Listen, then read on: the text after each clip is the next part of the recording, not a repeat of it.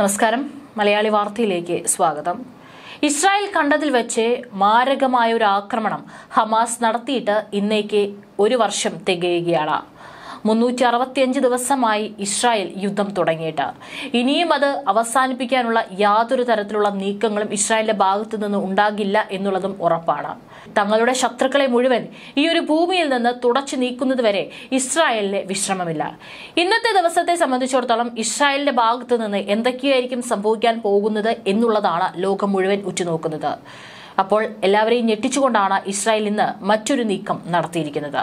ഒന്നാം വാർഷികം പ്രമാണിച്ച് ഹമാസ് ഭീകരിൽ നിന്ന് പിടിച്ചെടുത്ത ആയുധങ്ങളും വാഹനങ്ങളും ഇപ്പോൾ പ്രദർശിപ്പിച്ചുകൊണ്ടാണ് ഇസ്രായേൽ തുടങ്ങിയിരിക്കുന്നത്. ഇപ്പോൾ നയതന്ത്ര പ്രതിനിധികൾക്കും വിദേശ മാധ്യമ പ്രവർത്തകർക്കും അന്താരാഷ്ട്ര ഗവേഷണ സ്ഥാപനങ്ങളുടെ പ്രതിനിധികൾക്കുമാണ് ഇവ കാണാൻ അനുമതിയുള്ളത്. പൊതുജനങ്ങൾക്ക് ഇപ്പോൾ പ്രദർശനം കാണാൻ ഇസ്രായേൽ സർക്കാർ അനുമതി നൽകിയിട്ടില്ല. ആയുധങ്ങളും കവചിത വാഹനങ്ങളും കൂടാതെ ഭീകരർ ഇസ്രായേലിലേക്ക് എത്തിയ പിക്കപ്പ് വാനുകൾ വരെ പ്രദർശനത്തിലുണ്ട്.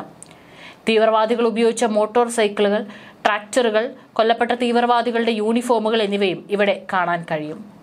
ആക്രമണത്തിനായി ഉപയോഗിച്ച ആയുധ ആയുധശേഖരവും പ്രദർശനത്തിലെത്തിയിട്ടുണ്ട് ടാങ്ക് വേദ മിസൈലുകൾ റോക്കറ്റുകൾ ഡ്രോണുകൾ തുടങ്ങി കഴിഞ്ഞ ഒരു വർഷത്തിനിടെ ഹമാസ് ഇസ്രായേലിനെ നേരിടാൻ ഉപയോഗിച്ച എല്ലാ വസ്തുക്കളും വിദേശ പ്രതിനിധികൾക്ക് കാണാൻ കഴിയും.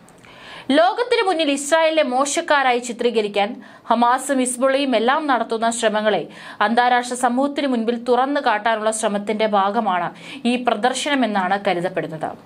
കഴിഞ്ഞ വർഷം ഒക്ടോബർ ഏഴിന് ഹമാസ് ഇസ്രായേലിലേക്ക് നടത്തിയ ആക്രമണത്തിന് ശേഷം എഴുപതിനായിരത്തോളം ആയുധങ്ങളാണ് ഇസ്രായേൽ സൈന്യം പിടിച്ചെടുത്തത്. ഇവയിൽ ആയിരത്തി ഇരുന്നൂറ്റി അൻപത് എണ്ണം ടാങ്ക് വേദ മിസൈലുകളാണ്. നാലായിരത്തി അഞ്ഞൂറോളം സ്ഫോടക വസ്തുക്കളും പിടിച്ചെടുത്തവയിൽ പെടുന്നു ഇതിന്റെ ദൃശ്യങ്ങളും വിശദാംശങ്ങളും എല്ലാം തന്നെ അന്താരാഷ്ട്ര വേദികളിൽ ഉന്നയിച്ച് തങ്ങൾക്ക് നേരെ ഉയരുന്ന ആരോപണങ്ങളെ നേരിടാൻ തന്നെയായിരിക്കും ഇസ്രായേൽ തയ്യാറെടുക്കുന്നത് എന്നത് ഉറപ്പാണ്. ഐക്യരാഷ്ട്രസഭയിൽ വരെ ഇസ്രായേൽ പ്രധാനമന്ത്രി ബെഞ്ചമിൻ നെതന്യാവു സ്വന്തം രാജ്യത്തിന്റെ നിലപാട് ശക്തമായ ഭാഷയിൽ തന്നെയായിരുന്നു പ്രഖ്യാപിച്ചത്. ഇതിനിടെ ഗാസ അധിനിവേശത്തിന്റെ ഒന്നാം വാർഷിക ദിനത്തിൽ ജബലിയിൽ കരയാക്രമണം ശക്തമാക്കിയിരിക്കുകയാണ് ഇസ്രായേൽ. അഭയാർത്ഥി ക്യാമ്പിന് നേരെ ഉൾപ്പെടെ ഇസ്രായേൽ ആക്രമണം തുടരുകയാണ്. പതിനേഴ് പേരാണ് ആക്രമണങ്ങളിൽ ഇരുപത്തിനാല് മണിക്കൂറിനുള്ളിൽ കൊല്ലപ്പെട്ടതെന്നടക്കം റിപ്പോർട്ടുകൾ പുറത്തുവരുന്നുണ്ട് ലബനൻ തലസ്ഥാനമായ ബെയ്റൂട്ടിലും സ്ഥിതി ഇതുതന്നെയാണ് അഗ്നിമഴ പെയ്ച്ചിരിക്കുകയാണ് ഇസ്രായേൽ. ഇസ്രായേൽ ഹമാസ് ഭീകരർ കടന്നുകയറി ആയിരങ്ങളെ കൂട്ടക്കൊല ചെയ്തതിന്റെ ഒന്നാം വാർഷികം കൂടിയാണ് ഇന്ന് എന്നതുകൊണ്ട് തന്നെയായിരിക്കും ഹമാസിനെ ഇസ്ബുളയും പിന്തുണയ്ക്കുന്ന ലബനന് നേർക്ക് ഇസ്രായേൽ ശക്തമായ തോതിൽ ഇപ്പോൾ ആക്രമണം നടത്തിക്കൊണ്ടിരിക്കുന്നത്. കിലോമീറ്റർ അകലെ നിന്ന് പോലും ബെയ്റൂട്ടിൽ വലിയ അഗ്നിഗോളങ്ങൾ പാഞ്ഞെത്തുന്നതിന്റെ ദൃശ്യങ്ങൾ കാണാമായിരുന്നു. വലിയ തോതിൽ സ്ഫോടന ശബ്ദവും കേൾക്കാമായിരുന്നു എന്നാണ് ദൃക്സാക്ഷികൾ പറയുന്നത്.